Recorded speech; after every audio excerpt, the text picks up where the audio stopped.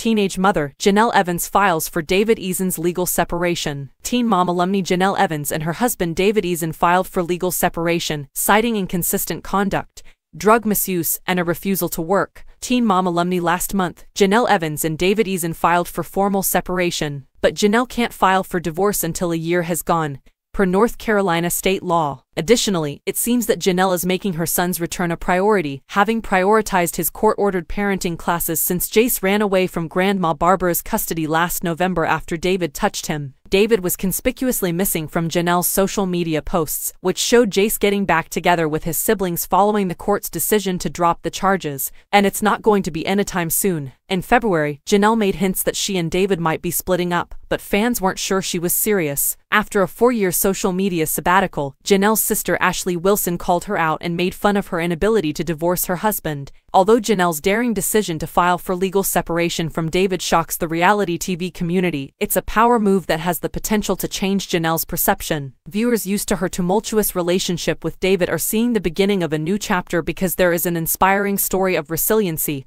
and self-empowerment hiding behind the headlines. At last, Jenelle is revealing her reasons for abandoning her marriage.